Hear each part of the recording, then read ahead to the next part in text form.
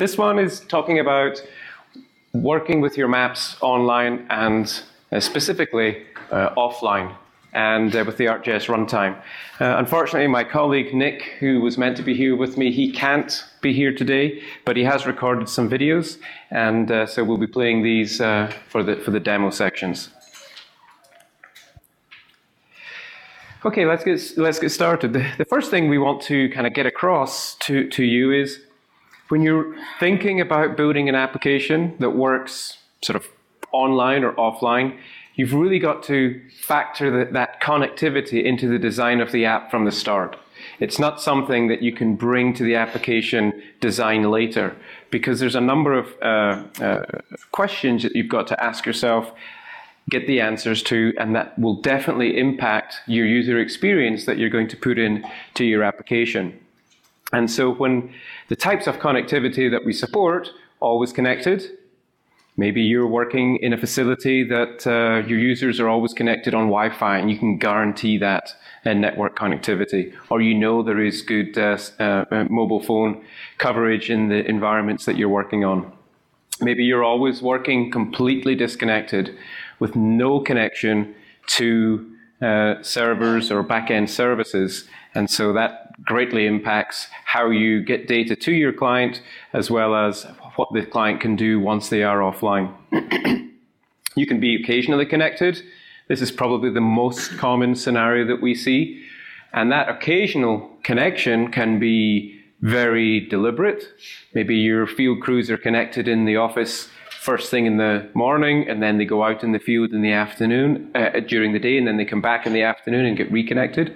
Or maybe it's very ad hoc, and uh, it's only when they get a Wi-Fi at a coffee shop or somewhere at random points through the day or at random points through the week or the month. And so think about think about that. uh, temporary interruptions due to connection problems. So you think you're going to be connected all the time, but maybe there's moments during the day when you will become disconnected. How's your application going to, to cope with that? And uh, the kind of the rule of thumb is assume the worst in most of the uh, cases and assume that uh, some parts, sometime you will be disconnected uh, if you're building mobile applications. And uh, make sure that your application can deal with that gracefully and, and doesn't, uh, doesn't crash or, or uh, cause your workers to basically stop working in the field. So it all really starts with uh, a map. And with uh, the runtime, uh, with our newer architecture that's now been out for two and a half years, uh, the map is really the central component of our object model. And uh, you can't really do a whole lot without working uh, with, with a map. And you can author these maps in in a number of ways. You can author these maps all in code. But increasingly, we're seeing them being authored in other parts of the ArcGIS platform, whether that's uh, ArcGIS Pro or whether it's the map viewer inside of, uh, uh, inside of ArcGIS Online or uh, your ArcGIS Enterprise. That's where the maps uh, get, get created. Uh, sometimes you can start in Pro and then publish to online to get an online version of, of, the, of the map. The nice thing about using a map is that these maps can be consumed in multiple applications. So depending on the form factor, depending on the user experiences that you're uh, trying to achieve, you might decide to try and put everything you want into one large application, or you might decide to put things into smaller, more focused applications. If it's the latter, you only need to take the map offline once, and all the applications can share that, can share that map. The updates uh, uh, to the map can be shared very, very easily. You don't need to write code in order to change symbology or to add a new layer into your uh, uh of data into your application.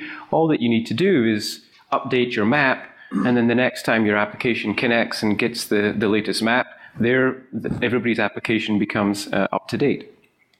So maps contain operational layers, which have symbology and pop-ups and uh, all the, the, the, properties that you would expect from an operational layer. Maps contain base maps, vector or raster, and maps have some metadata uh, that uh, we use internally to uh, uh, to help facilitate some of the functionality in the API. And we'll be going into some of that later this morning. So the mapping workflows that we're really going to focus on this morning, the first one is uh, the simplest, the connected map uh, workflow. That assumes that you have your maps in online or within your enterprise uh, server, and your client connects to the map and just works with uh, the data coming from services. Very easy to uh, set up, very easy to build an application that uses it, but it does have the restriction that if you lose your network connectivity, your applications uh, uh, could potentially stop working. So for that, we've got these uh, other workflows. The disconnected map, completely disconnected. It's, uh, it, it's never been online to take offline. It's only existed on your desktop and you've packaged it up and you've created a, a, a packet of, it, of data uh, and pushed it across, side-loaded it onto your mobile device. There's two uh, workflows that we support if you are starting out online, and that's the on-demand mapping workflow, where the uh, client generates and downloads, generates a request for, a, for an area, the server prepares it, and then uh, it gets downloaded. And there's the pre-planned workflow where the server end has pre-staged various areas that can go offline, and then the client downloads these. And we'll be going into all of these in, in quite a bit of detail. Okay, so let's start with working with connected maps. So this is a services pattern. So everything is backed by services. And so the, your data is sitting inside of ArcGIS Online or it's sitting inside of your ArcGIS Enterprise. And this pattern supports uh, editing if you want. We had a session yesterday, I know a number of you were at it, where we sort of went deeper into what's possible when it comes to editing, but this, this workflow supports that. You have your web map, you can author a web map inside of Pro and publish to the server, or you can start online and you can uh, author your uh, web map online, or you can cr- actually create a map uh, in code directly from within the runtime. So what's this, uh, this web map? Well, it's composed of a couple of uh, components. There's the actual item ta- that, that exists in the portal information model. This is basically metadata about the web map. There's the map itself, and uh, the map points to layers and, and, and services. We can have tiled layers backed by a raster tiled service. We can have feature layers backed by feature services we can have feature layers that are backed by another item type, this feature layer item type, which in turn is backed by a feature service. But that feature layer allows overrides on the feature service to be applied. And so the, these overrides flow through into the map. So you could, the feature service, as you all know, has symbology included within the service. But you can override that symbology and you could store it in the overrides of the feature layer, and then every time that feature layer is used, these overrides get picked up. And you can have vector tiled layers, which are backed by a vector tile service, and you can have a vector tile layer, which again is backed by an, an, in, uh, an item in ArcGIS Online, which allows overrides to be applied to the vector tile service. And this is exactly what's happening when you create your own custom style for a vector tile service. What happens is the, the actual tiles of data, they stay the same, but your styling information what you, that you've created using the style editor gets stored in these uh, override uh, resources. Okay, so let's have a look at uh, how you would go about authoring and using online maps. Okay, so here we are at my organization's homepage, and we're just going to create a new map. I'm going to add some data to this map. Let's search for some layers. Just so happens I've got some path location convenient at the top there. And I just want to change the initial view of this map. I'm not very happy with that. full extent. Okay, so I've got my locations on the map. I want to do a couple of things here real quick. Um, first thing, I know there's a type field on here, so I want to symbolize these based on type. You see now it's broken them down, it's analyzed the data behind it, and come up with uh, a classification. I also want to make these symbols just a little bit bigger so they're a little easier to see. That should do. Um, and one last thing, I'm going to change the base map from the topographic to little flatter. Okay, so now my locations stand up, and I save the symbology. Oh, we've got this map. So I'm going to save the map. Call it Palm Springs locations.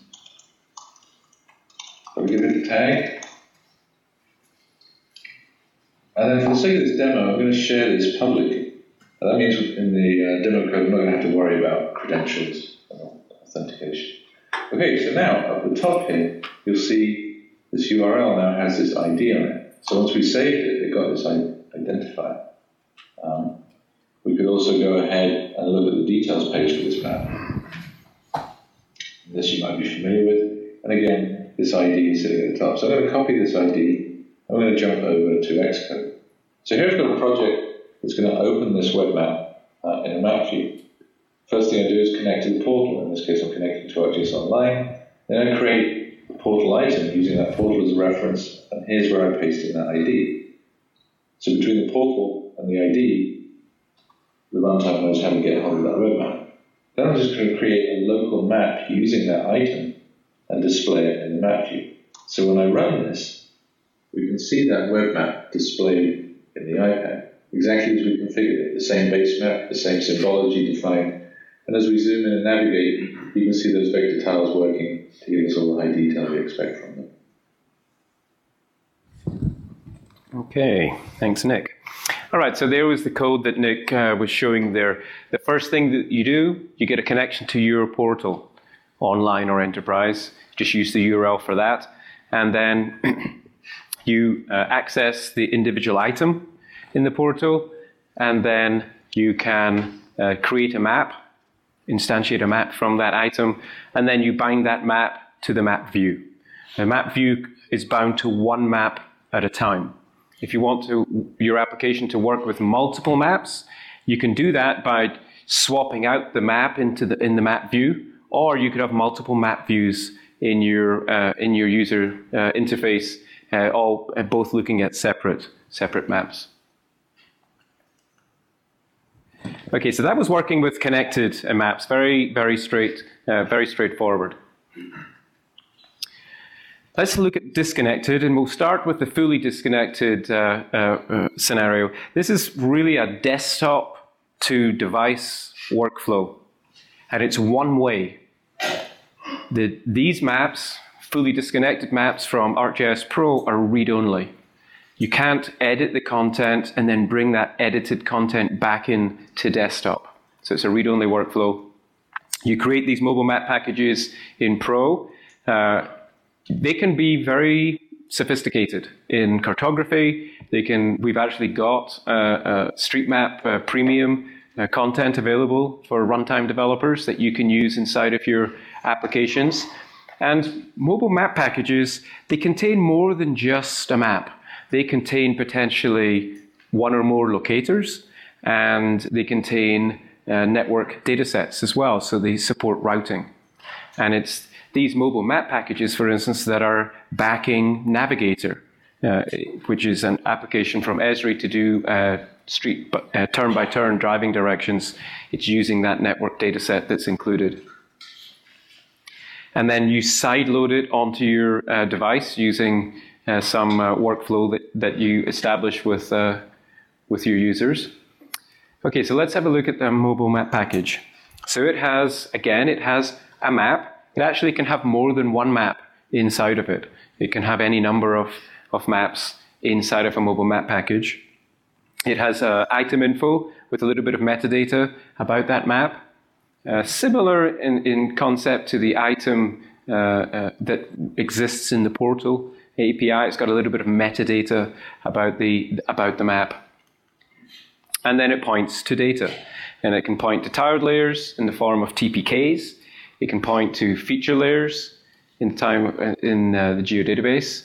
The geodatabase in this case has symbology information encoded into the feature classes. So a mobile geodatabase knows how to symbolize itself uh, with the default uh, with the default symbols. But again, you can override these at the feature layer level. It can also point to vector tiles, layers, and again, it can point to these uh, styled vector tile layers as well. So you can have multiple uh, multiple styles pointing at the same raw vector tile sets.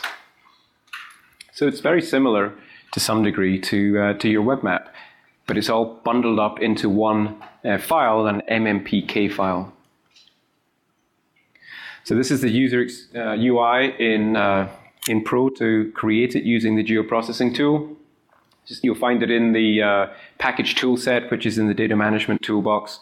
And you can see here, you can select multiple input layer, uh, input maps. And then depending if you, if you select multiple input maps, some of the properties in the form will change because you now need to, to, to, specify a little bit more information about the areas of the map that you would like, or maps that you would like to uh, take offline and you fill in the details and then you publish and it creates a simple uh, uh, file that you can then load onto your device.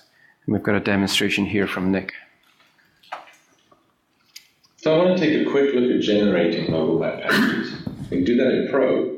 Um, you generate an MMPK file, you then have to save it onto your device.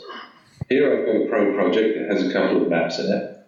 All looking at the same data, just different views in the same project. And if I just want to export the current map as an MMPK, I can pick the map, I'll go to share and use the mobile map package tool.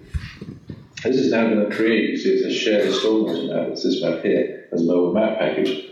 It's going to create an MMPK of just this map, I'll give it a location, specify a little bit of stuff about what I want included in here, how I want to clip the data. Maybe I've got a polygon layer that will define an area of interest for me. And I can package that up. The package will generate an MMPK. But MMPKs are mobile map packages, so they can include more than one map. And let's say I wanted to create one that had both the overview and the stormwater map in it. Well, in that case, I go to the GP tool and I look for the Create Mobile Map Package tool. You can search for it, it just happens to be in my history here. So I'm going to fire this up. And when it shows up, we'll have a few options. This is very similar to the other tool, um, only now we get the opportunity to select from a number of different map definitions that we have to find in our project. Still specify the MMPK location, and there's a little more information here since we've now got multiple maps in there. We can say I want to export the data covered by the union of those map areas. And then I'll just go ahead and run that. That generates one MMPK with multiple maps but just one set of data that all those maps make use of. So let's take a single map MMPK and look at what that looks like on an iPad. So here I've got Dropbox with an MMPK, and I've written a runtime application that knows how to open MMPKs. I'm going to tell Dropbox to just open it in that application. And that MMPK is now opened up by runtime. I can zoom in we see all the feature details, we've got the base maps, we can navigate around. It's all drawn directly on the device. So let's take a look at the code required to open that. Really very simple. When iOS called in from Dropbox to say I've got this URL, this file this URL, here's that URL. I go ahead and create a mobile map package from that URL I load that mobile map package to understand what's contained within it in terms of the maps. And I get the first map out of it, and I just apply it to the app's map view. That's all it takes to display that map from the mobile map package in the map view on the iPad and make it fully interactive. Okay, so the the runtime does support the same cartographic information model that Pro does. But it has two, it's got a separate implementation of that. Uh, and so it is possible you may see a difference in the symbology between pro and runtime. But if you see that, the way that we treat it, it is more, it's a bug that we need to fix. So the expectation that you should have as users is if you've authored your map in Pro, it should look like that when you open it up inside of runtime. And there, there's a little bit of work that the team's still doing to upgrade some of its uh, uh, graphics rendering and handling of Arcade scripts. But uh, with the upcoming release in uh, just a couple of weeks' time, with update 5 of runtime, they've really closed that gap. And so the, the rule of thumb is it should be the same. The one area that is different is the way that dynamic labels are handled. In Pro, we use the Maplex labeling engine for label placement.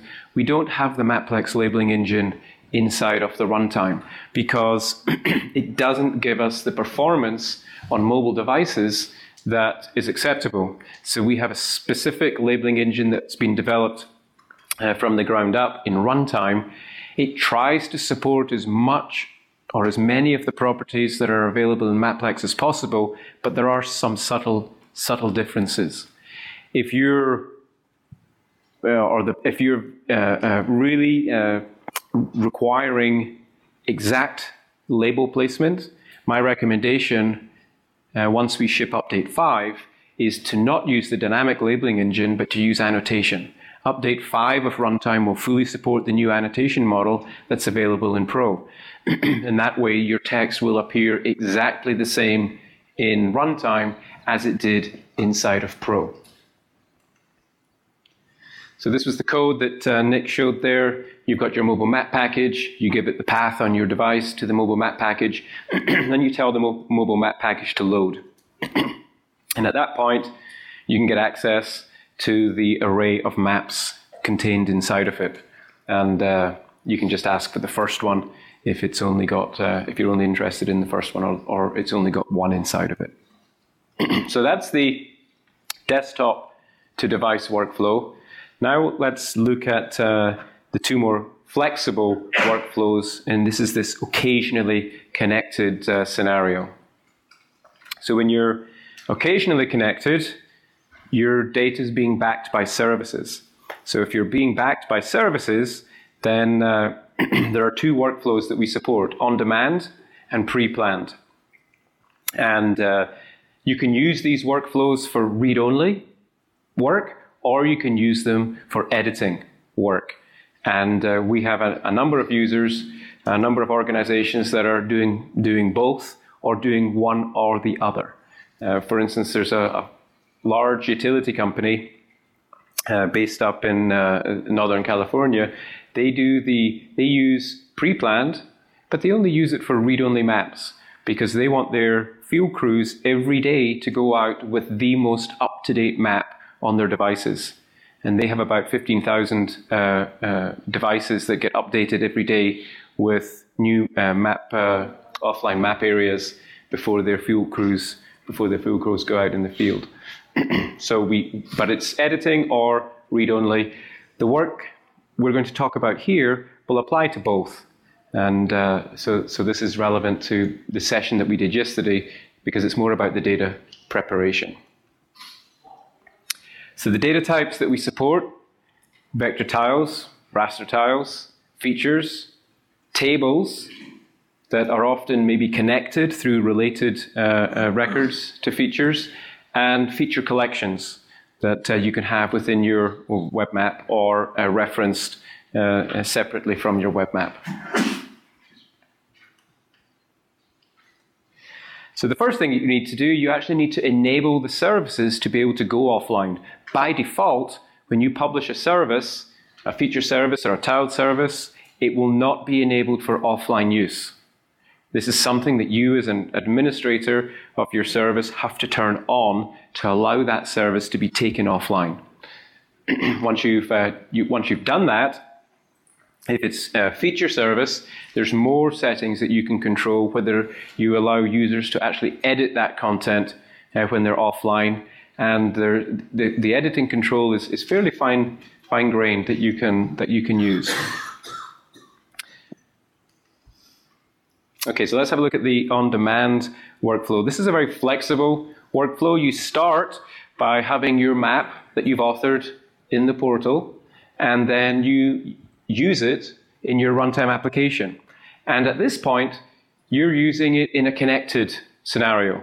So that was the very first example that we saw this morning. But when you want to go offline, out in the field, the user in the field determines the parameters for the offline map uh, creation. What's the, the area that can go offline? What's the level of details that I need to be to support my work when I go offline? There's a number of parameters that you can expose to your users uh, when they decide to take that map offline. Or you could decide to simplify it and just allow them to pick the area that they want to go offline with. At that point, that information is sent up to the server. The server takes that and prepares a package, a mobile map package, ready to go offline. Once that's done, the client's notified that the package has been prepared, and then the client will download it onto their device. And this package is different from the package that gets created in Pro. This one supports editing, if your service supports editing. So the parameters that you can uh, work with as a developer and uh, optionally expose to your end users, the area that you want to go offline, the minimum and maximum scales. This is relevant for the base maps. It will tell uh, the, the system which LODs to uh, take the data from. Uh, you can say whether you want a base map or not. Maybe you've already got a base map on your device because they don't change very often. You might sideload a base map maybe once every six months onto your devices. So all that you want to do is to take the operational layers offline. you can decide whether you want attachments or not. Uh, you can specify a definition expression to further reduce the content that's coming offline, and you can decide whether you want related uh, tables uh, or not. On that's on the package as a whole. And then on individual layers, you can specify, uh, there's more control on the features that you're going to take offline on feature layers. And with tiles and vector tiles, there's some layer uh, settings that you can specifically set uh, uh on your uh, offline map. They're more, they're getting more advanced in their settings. Okay, so here's another demonstration from Nick. So let's take a look at the on-demand workflow. The on-demand workflow and the pre-planned workflow, for that matter, both begin with a web map. Whether you author that web map in ArcGIS Online or Enterprise, or in Pro and publish it up, the web map is central. So here we have a web map with a few layers in it. We jump over to the settings and take a look at the offline settings and see that there's this enable offline mode checkbox. If that's on, you can take your web map offline as a whole. You may need to make sure that individual layers are also enabled for offline but by and large, you should be good to go. So let's take a look at what taking this web map offline looks like from an iPad. Here we've got that same web map, and I'm going to navigate around. We're currently looking at the online version of it. I'm just going to take a portion of it offline. Now, runtime is talking to the server at this point, to ArcGIS Online or ArcGIS Enterprise, and kicking off a number of jobs on the server side to generate the components that runtime needs to be able to use this map offline. Here we're pulling together some base maps and some feature services in the form of uh, offline geodatabases. And we'll pull those down to the device and use them to display the data. Now, in addition, ArcGIS Online and Enterprise will pull together metadata about the map, information about layer visibility scales, pop-up overrides, bookmarks, and so on. And that gets pulled down as well, and all hydrated and used together by the runtime to create full offline map experience. So it looks like right here, we've got the geodatabase down already, we're just waiting for these vector tiles to finish generating and downloading. Once that's happened, we see the download happens really quickly and we have a fully interactive offline map. Now what you'll notice here is that some of the features extend beyond the extent of the base map that we were interested in. That's because by default, the map will get complete features down. We don't clip anything. That's important if you're doing editing. So, the offline map task allows us to override settings for specific layers if we need. So what we could also do, get rid of this, and we can pull this down with a larger base map area.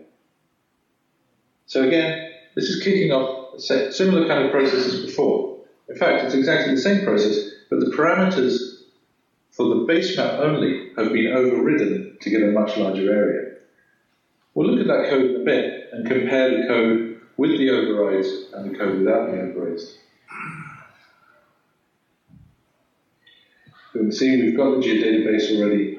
We're just, again, waiting for those vector tiles to be generated.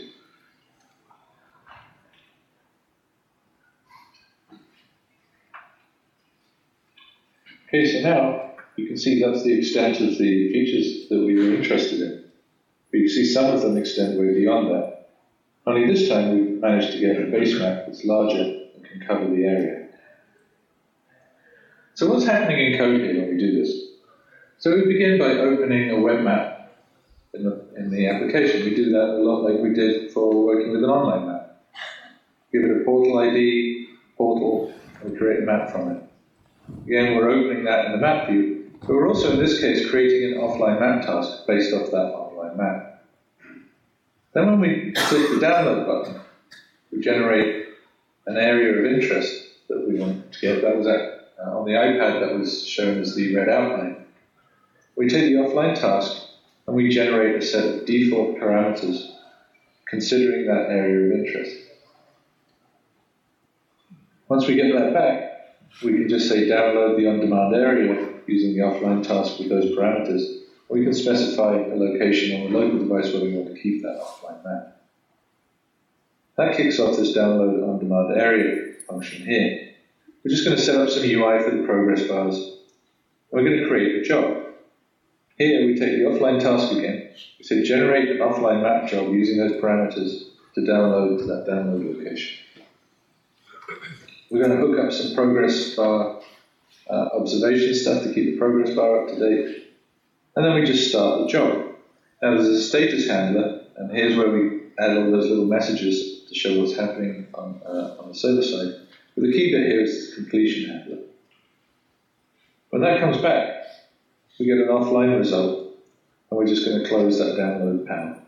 What we do with the offline result is it ends up in here, we just take that map view that we had we take the offline map out of that result. The result being passed in here is bit here. We just take the offline map out of there and show it in the map. That was the first demo where we got the uh, base maps clipped to the area of interest. If we wanted to override the um, area of interest a little bit, we just added a little bit of code here. So in this case, we're going to call an override to this function with a buffer amount. That's described here. So all we do that's different is we generate offline map parameter overrides given the parameters. So we begin, as before, by generating parameters considering the area of interest using the offline task.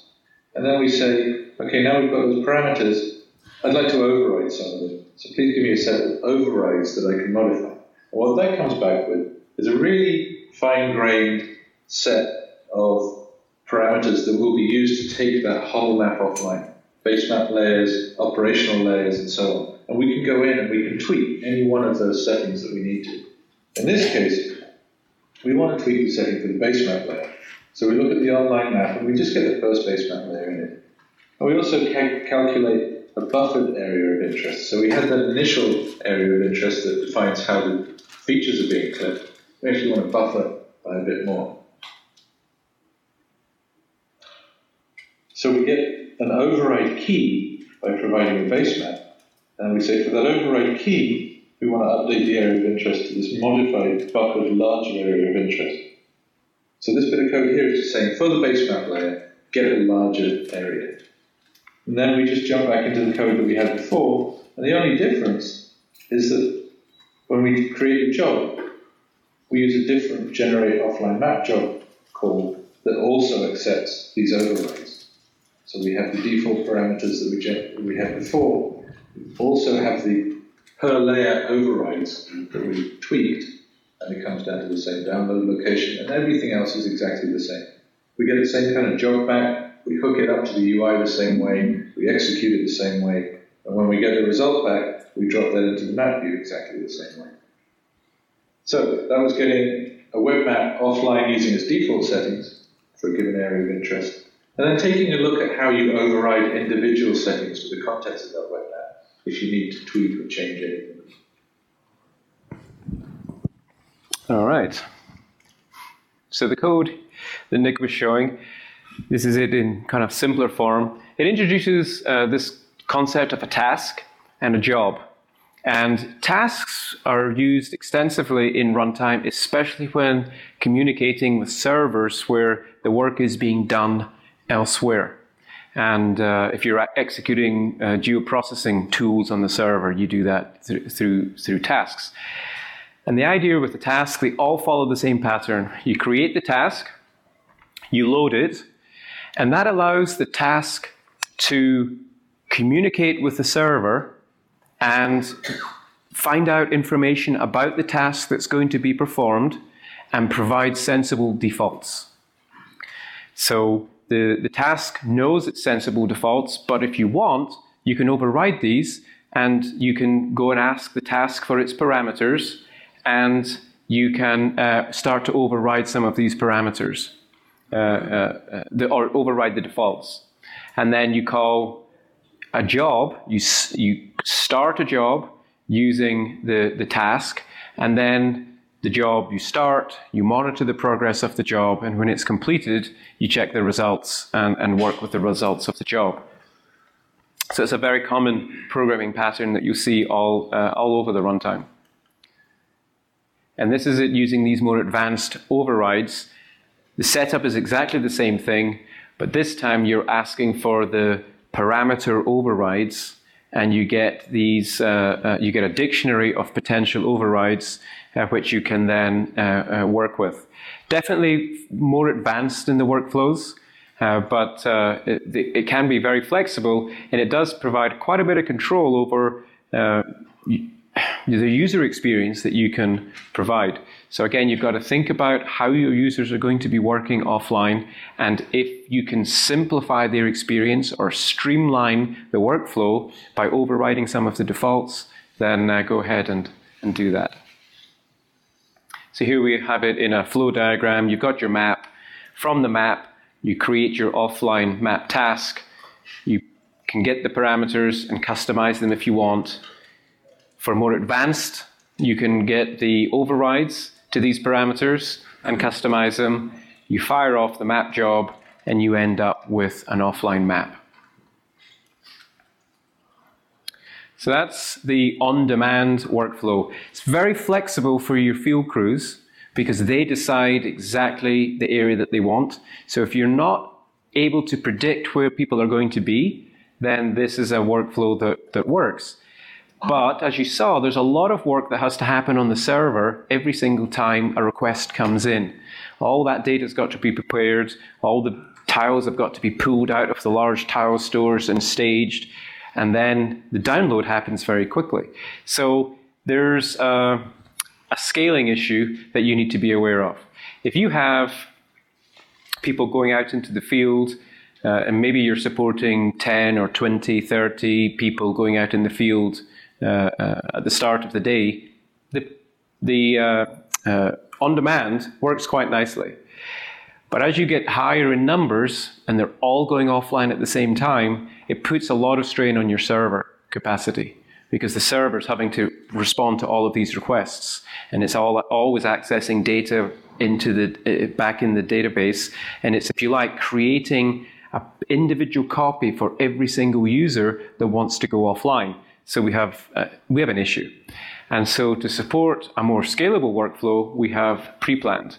And this scales to thousands, tens of thousands of users all going offline at the same time.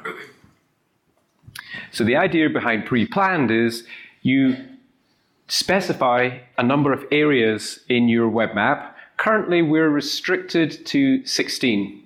Uh, it's kind of arbitrary. Uh, we're thinking about raising that, uh, raising that number. If you need to support more than 16 areas today, you'll need to model that with multiple web maps. And you might have a, uh, four web maps for regions, and within each region you might have 16 areas that you could take offline. But you can, that's how you would do that today. But you have your area.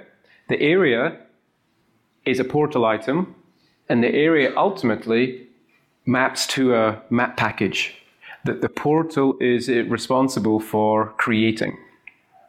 And so the portal has your TPKs, your uh, VTPKs, your geodatabases. They're all created inside of that map package, and these areas are managed by the portal.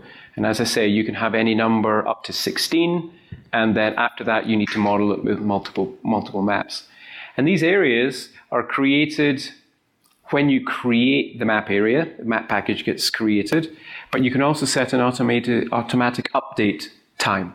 And uh, typically we see this sometime during the night when people are not going offline uh, or there's no real users using it, all the areas get recreated uh, through the night. And so they're all ready uh, uh with the most up to date information when, when field crews go out into the field uh, in the morning.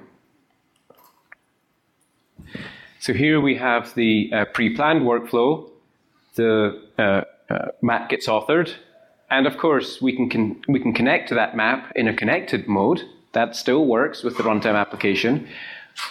But if we want to go disconnected, there's more work to be done on the back end. We've got to generate these mobile map uh, packages, these pre planned areas, and there's a user experience for doing that. Uh, or you can use the Python API or just uh, raw REST requests if you want to automate it on, on using some other mechanism. Once these prepackaged areas are created, the runtime application comes along and gets to, connects to the web map, it, will see it's got pre-planned areas available, and it, you can present a list to your user, and they can choose which area they would like to take offline, and then it just downloads the web resource. So it's a very fast uh, operation. It's as quick as their internet connection is. There's no work being done on the server at download time other than serving out a web resource. Okay, here's uh, Nick again. I want to take a quick look at a couple of aspects of working with the pre-planned workflow. Here we are looking at the familiar web map again. And I'm going to jump into its uh, description page. We go into the settings here, take a look at offline, and you can see, okay, we've got offline mode enabled again as before. We can see there are five map areas defined. So let's take a look at what that means click this button, up pops the Map Manage Areas interface.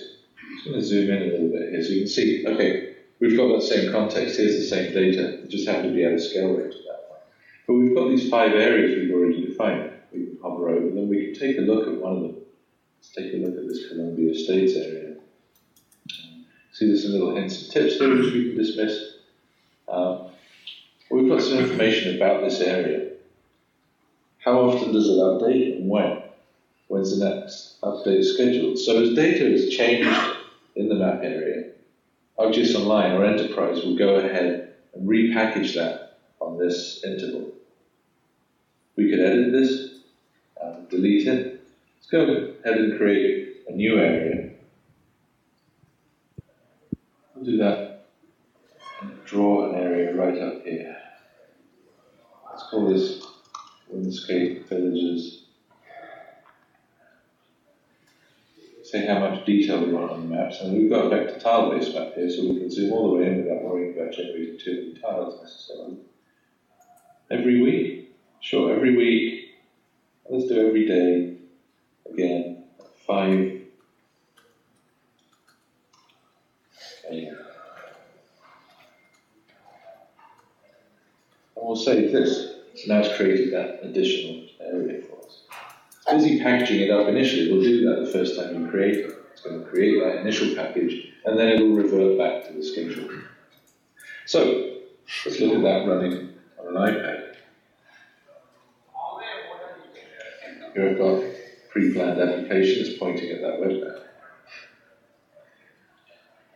You can see it's already picked up that Windscape Villages. Now I'm not going to load that because it's still packaging right now. We can go ahead and use one of the other ones, like Columbia State. Tap on that, download it, it comes down over the wire really quickly, and we end up with this map is fully interactive map, those vector tile-based maps sitting behind our operational data. And as we've talked about, we can edit this, we can synchronize this back. Um, but let's take a look at what code was involved there. So if I switch over to Xcode, first thing to think about is connecting to that map. So um, as we saw with the on-demand, it's pretty straightforward. It's very much like just showing the map in the display. In this case, we're not even going to bother putting that map into a map view. We're just going to create an offline map task based off that map, just as before. Now, when we display that user interface to list out the areas, here's what happens. I'm passing in the offline map task, and I'm just calling get pre-planned areas. When I've got them back, I've got an array that I'm holding onto of areas, and I just set it to the results that I got back from calling get pre-planned map areas up here. That triggers a user interface update, um, we're not going to look at this bit of code. Um, the key bit really is when someone picks one of those areas, what happens. So let's take a look here. Here we've got an area that was selected from that user interface that came out of this array of areas up here.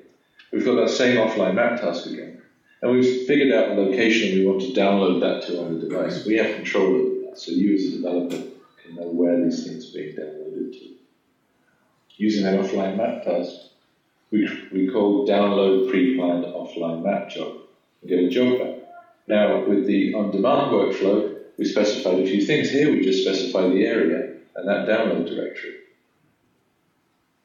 We add that observer again to watch the progress, and keep the status bar updated, and then we just kick off the job. We call start. We get this status handler that gets updated whenever there's a new message to display or the job status has changed. Um, and then we have a completion handler, which is called just once at the end when all the data has been downloaded, it's ready to open. So here we've got the result.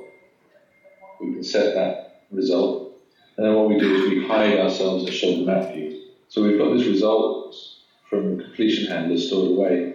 And very simply, back here in the map view, once we've hidden all the user interface and returned to the map view, we've got that AGS download pre-planned offline map result. That's this thing up here. And we just say result.offline map, get that, and associate it, show it in the map view and the map views map that offline map back. And that's all it took to list the areas, download a specific area, and display the map representing that area. Okay, so what happens if your data is updating on the server constantly? How do you ensure that you get the latest set of data. If Nick, in his example, was updating the map at 5 a.m., but maybe edits have already been pushed into the database, and your field crews need to get the most up to date information. Well, that's easily achieved with this workflow. You would download the pre planned area, which is 5 a.m. status. The very first thing your application should do after the download is to perform a sync. You've got no edits to upload, but it will download anything that's happened on the server since that package was created at 5 a.m. And that way you will be guaranteed to have the most up to date map on your uh, device. So it's good practice to always, if you're working in where the data is changing, it's always good practice once you've downloaded it to perform a sync. If there's nothing happening on the server, the sync will happen very, very quickly. If lots of activities happen on the server, it'll take a little bit longer because it's having to download that activity to the device, but you will have the most up to date information inside your application. so the, uh, the, the code that Nick went through there, again, starting with the offline map task initialized with the web map, they find out the map areas that are available you can use these map areas in a user experience because you get a thumbnail and a description about uh, the map area. You can then allow the user to select which one they're interested in, and then you download that using the uh, uh, download pre-planned map areas. That returns a job. You monitor the job, and when, when it's complete, you use the result of that as the map. So here we have it in the flow diagram. It's a little bit simpler than the uh, oops, in the pre-plans. You start with your offline map task, you allow the user to pick the map area, and then you download it. Very straightforward. Okay, so in summary, uh, we would recommend the pre-planned workflow if you know your users are going to be going to predefined areas to do their work. That creation of the areas can be very dynamic. You, you may, it may be quite static. It may be specific uh, regions that your field crews always go into, in which case it's easy to define the, pre, uh, the pre-planned area. Or it might be dependent on the work orders that that field crew or these field crews are going to satisfy that day. In which case, you could write Python code to automate the creation. So every day, you might decide at the end of the day, at midnight, your Python code gets executed. It'll delete all the previous pre planned areas that the system had for the previous day. It'll look at the work order information, figure out where these areas are, and recreate them overnight. That could be uh, done and automated quite nicely with the Python API. The field crews come in in the morning, they pick the area that they're interested in, and then they go offline. On demand, use that one if you're not really sh- uh, sure at all where your uh, workers are going to be or uh, events are going to be taking place. But think about the load on the server. If you need to support more and more users with the on demand, you may need to have uh, more powerful servers to do the, uh, uh, uh, the, the, data creation that's backing that on demand workflow. Try and adopt, if you've, if you've not already adopted WebGIS, try and adopt the WebGIS pattern because it is going to provide you the most flexibility. The, uh, these patterns that are backed by services support on demand and pre planned they definitely are the most flexible for your offline workflows. Uh, but if you can't use the uh, WebGIS pattern, we still have uh, the uh, uh, side loading the data that's been authored inside of ArcGIS Pro. That is, that is an option. Uh, always think about the connectivity that your users are going to have when they're using your application and design with that in mind when you're starting your uh, design for your application. And that also includes thinking about the data workflows that you want to be able to support. It's not just about the user experience. And uh, we often see hybrid approaches working very well. And what do I mean by hybrid? I mean, some data might be sideloaded onto the device. Base maps is a classic that we see all the time. Basemap data gets created inside of Pro as a, as a map package. It's read-only. It gets sideloaded onto the device because it doesn't change very often. And it's only the dynamic content, the content in your operational layers, that's downloaded on a daily basis. And that reduces the size of downloads significantly. Okay, so that's all I had. Uh, please don't forget to uh, fill out the survey and uh, uh, let uh, uh, let us know what you thought of uh, Nick's demos and, and my, my slides and talking.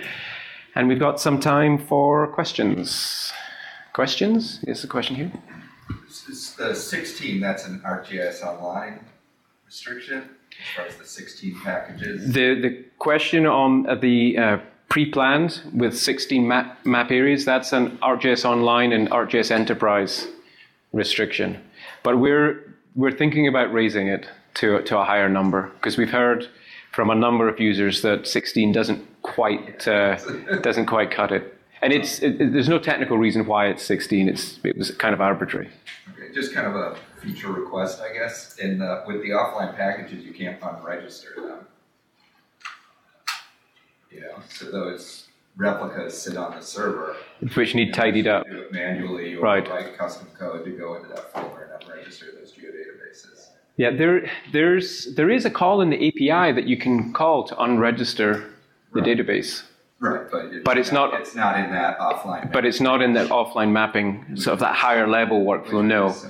Yeah. So you're you're you're basically asking for that call yeah. to be a bit higher up. Okay. Take that on. Any other questions? No other questions? So yes, we've got one here. The Good question. The area of interest, does it have to be a rectangle or a square or can it be any arbitrary polygon? With update 4 and before, it, had to, it has to be a rectangle. with update 5, which is coming out in three weeks, two weeks, it can be a polygon. So if you're if you're taking an area offline and say it's on a it's on a road network and all you want to do is take the tiles and the data that are buffered along the road, you can pass in a buffered that buffered road polygon and we'll just take the tiles offline required to support that road network. That's an update 5 enhancement. Add on to that, can you base it off like, uh, like district boundaries? The, the, off another layer to extract those out? The uh, the question was, can you can you base that uh, polygon to take offline? Uh, can you base it on uh, other data? Yes, it's up to you to to make the query into the source data and then construct the geometry, buffer the, buffer buffer it, for instance, and pass that in as the uh, as the area of interest. Another question here. Are there size limitations to how much you can? Good question. Are there size limitations to how much you take offline? It's kind of yes and no. Uh, in theory, there is no size limitation, but the server user can restrict the amount of data that can be taken offline. So, for instance, the uh, the base map tiles from ArcGIS Online, we restrict it to 15,000 tiles that you can take offline uh, because we don't want people taking our entire tile c- cache collection offline. Uh, plus, the size of a package of 15,000 raster tiles starts to get quite large. So it again, it's arbitrary. As if you're running on your own server infrastructure, you could leave it unlimited, but you've got to think about the user experience. If they're downloading gigabytes of data onto their device, you're probably going to get a few phone calls. So it's it is it's it's limited, but it's limited by the server administrator. Question at the back.